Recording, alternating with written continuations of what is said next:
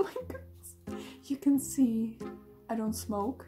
I just have that from a from someone I know and I don't smoke. So I don't know how how lighters work. I just wanted to click here. Yeah. and but why is it so Mm. I'm not a kid. He's like Small to use uh, a lighter. Maybe the other arm is stronger.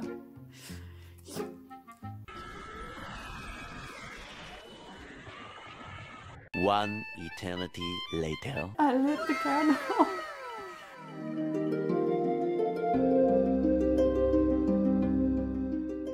Hello, meine Füchse. If you already know who I am, welcome back to my channel. And if you don't know me yet, welcome to my channel. I'm happy that you found me. I'm Foxis, like we can see. Like, that's, yeah. It's kind of embarrassing that the first thing you've seen of me is struggling to turn on the lighter. Where is it? Where is it? There it is. I don't smoke. I I did smoke when I was a kid, like a small. What do you call a kid? I think I smoked like with 12 or something. It was just because I wanted to fit in, I guess. So my former friend just gave me a cigarette and we lit it and we smoked but I was never really addicted to it, so I I stopped. Yeah, but that's not the topic, right? also, like you can see, there's another background again because I wasn't happy. I wasn't happy. I don't like the bed when I sit on it. I'm still in my bedroom, but that's another space of my bedroom, and there's the window. And I didn't, I did, I didn't like it. I didn't like it at all. So I needed another background and I hope I like that more. I have the projector in my background. It's usually with lasers and stuff, but those lasers, if you want to get this uh, universe projector, you have to know that those lasers, and if you accidentally look into it, you get very dizzy for like 10 minutes and you don't feel good at all and I had to to hide the lasers on a piece of paper so the lasers are not there right now because I don't like those lasers. They're green lights, they're green, so they're always green. Maybe you saw a video or something with like really, really beautiful stars, but those are green lasers and it's not pretty and it doesn't look like real stars at all. So just so you know, there are green lasers in this projector, but those waves back there, I really love that a lot. So I didn't give it back again. So I have it now because I love waves. If you know, I'm Mentaken. I'm coming from a world with water, so that kind of suits me a lot but also it makes me dizzy a lot. If I look into it too much, it makes it dizzy, and it's even worse with the lasers on. So for those waves, is it's okay, you even can change the colors. I just love like purple, purpley stuff. I love purple, it's my favorite color. So I'm at home again. I'm at home for a few days and I didn't take my camera into the neurologist's waiting room because there were other people and I didn't want to disrupt, their peace, their waiting time. So I couldn't couldn't record anything because in Germany it's really rude if you just talk. They would just look at you and they would even get like kind of upset. It's just rude here and you don't do that in Germany. I don't know if you can do it anywhere but I kind of think sometimes it's kind of like Japan here because you shouldn't talk loudly while they are like in a um, train or in a bus you shouldn't you shouldn't do that but i did record in my psychiatry's waiting room psych uh, psych yeah in the waiting room from my psychologist because there was no one with me in this room. I think it's kind of like a hallway because it's not really a room and people will go up the stairs and down the stairs and up the stairs and down the stairs. And and because I have like a social phobia, it's kind of weird if someone just catches me me recording a video in their waiting room is kind of weird. Here I am at the waiting waiting room of my psychologist. I show you. That's it. There is the door to my psychologist. I hear him talking. Something to read. Some more to read. hmm.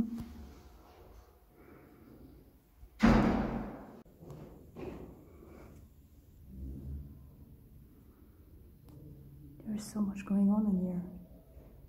So many people coming from upstairs and coming downstairs. Oh my goodness. So I will talk about what's what's going on. So I talked with my psychologist and he was just there to give me a transfer. The transfer is gone now. I already gave it to my to the neurologist so I can't show you and I can't show you anyways because there's too much personal information on there. But we were talking about stuff we're always talking about. He always calls me very smart and I had an IQ test and it was pretty pretty dope. something something just fell. What was that? So yeah, we were talking about something I remembered a while ago because sometimes traumas kind of you randomly think about your traumas and that's what happened. So I talked to him about that and at the end of the appointments I got my transfer paper. He's scanning my card right now. Just testing if everything's okay. I hope it is. That's where I'm talking to him. Look at all of this.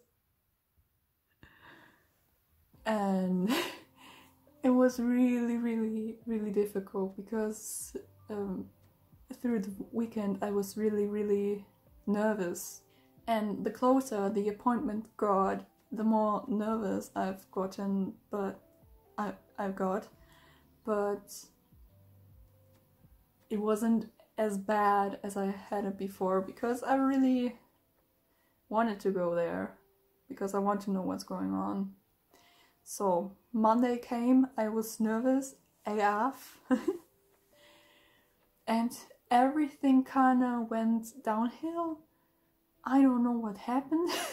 I went downstairs because I live in a on the third floor of this apartment.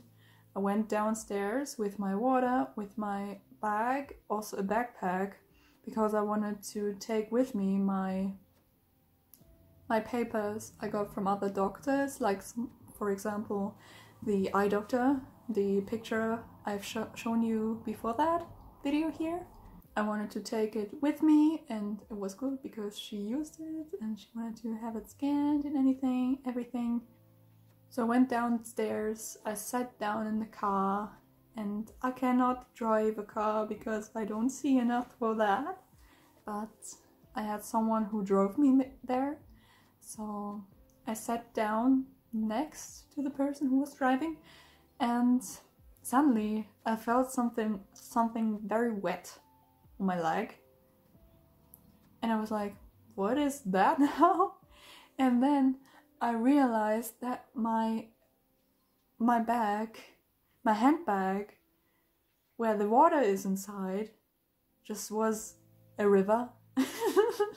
and my little handbag, my little Hamburg handbag was flooded. So that's great.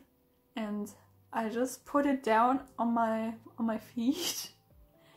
was just like, oh no. So I got my wallet out of my handbag so it won't get wet as well. there are also my cards in there I have to give to my to the doctor later on, so I got it out and just placed it away and got the bottle and for some reason it just wasn't closed properly or something. I I have no idea because I I made sure at home that it's closed properly. I even turned it upside down so I would see if it's leaking, but it didn't.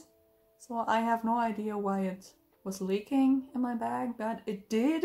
and as soon as I as I took my wallet out and just laid it on something else, I I realized that I forgot my transfer paper. So yeah, I said the person who was driving and I forgot it and oh we had to turn back and get it. And while we were going back, I just got so freaking dizzy because my psyche can't take it much. I'm really like if something happens, I'm really really stressed and it felt like I am just collapsing any moment. But I did some breathing exercises and I was okay then. So I got the transfer, went back, and we drove to the neurologist. and at that point, everything was okay. Nothing else happened. I was just dizzy, like five minutes, and while driving, it went away. At the neurologist, I was waiting quite a bit. I was waiting maybe an hour in the waiting room, and there were two people next to me. They were standing next to me while keeping distance because COVID, and were talking and talking. I was going crazy in there, but then they called my name and I was allowed to go into the neurologist's office. Before that, also, the waiting area was full with people and I couldn't fit in there. So I had to wait outside on the steps of the sta- on the stairwell and was sitting there and was just um, filling out a paper with what medication I take and if I have any allergies and what my issue is, why I'm there and stuff. She told me something else could be the issue she wanted me to talk about my mental issues, so I told her, and I also told her that I'm scared of doctors and hospitals. And she told me that I might have um, I might have to go into a hospital because there are some things they can't do there at the doctors and just the hospital can do it. So I had to lay down and she did some tests and I had my blood taken and I hate that, but it's okay. I'm not really scared anymore of that. I when I was a child, it was really weird because I was always screaming and kicking when they wanted to draw my blood. But right now I'm just like, oh, no one likes that. But if it has to be done, yeah, just do it. and I couldn't, I can't look at it at all, and I'm always getting dizzy when my blood is taken from me. She asked me if that was always like that with my weird face because one side of my face, I don't know which side it is right now, let me see. Yeah, it's my right side. And it looks kind of weird, like it's hanging down. And it is actually. It was ever since I can remember, but it wasn't there when I was a small child. It wasn't there in my child pictures. It was just there when I was taking pictures for my health insurance card. And there, my right side is kind of. Mm. But before that, the pictures I've seen of me I don't have that. So something had to have happened that it just is like that now. And looking straight at, at you now,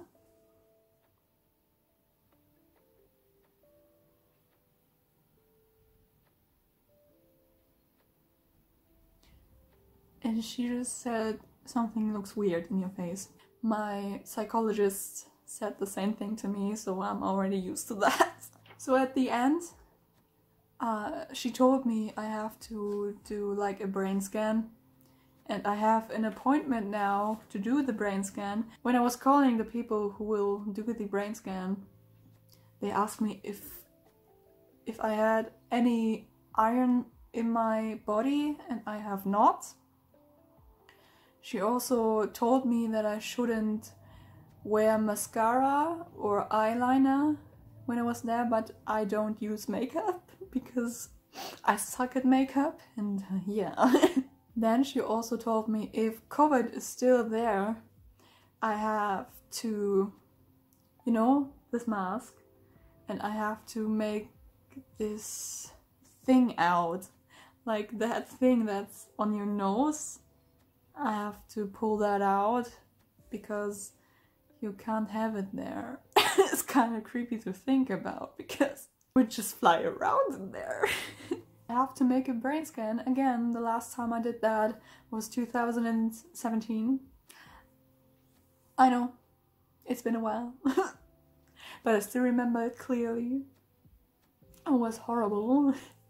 That's my appointment. I'm just hiding the address.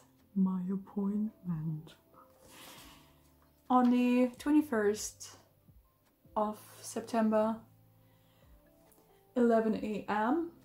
and that's my transfer. My transfer. Oh it smells good. Ooh. I can't really show anything was on the transfer because there are personal informations on there. And that's what the bag looks like. So that's all of the updates I have. And the next thing is disappointment, I guess. Disappointment on the 21st September this year, 11 a.m. Until then, I might have to talk about something else. About the things I experienced in my childhood and about the stuff that's going on in my head sometimes. no, not what's going on in my head. I'm really, really into talking to Spirit right now and Spirit is just telling me so much stuff and I'm kind of called to talk about it, so I want to talk about it and I just saw a light. I have to talk about it now. If you didn't subscribe yet, please hit this subscribe button and also the bell notification icon right next to it so you'll never ever miss a single video of mine. Also, please comment, how do you like the background? Is it the best you've ever seen on my channel? Or not? And until next video, I'm very, very grateful that you watched this video and thank you so, so much for watching this video until the end. If you reach the end, please, please, please, um, please add a fox emoji in the comments. I love you all very, very much. And I am grateful for every single one of you. Thank you for watching. Goodbye. Look at her. Pretty.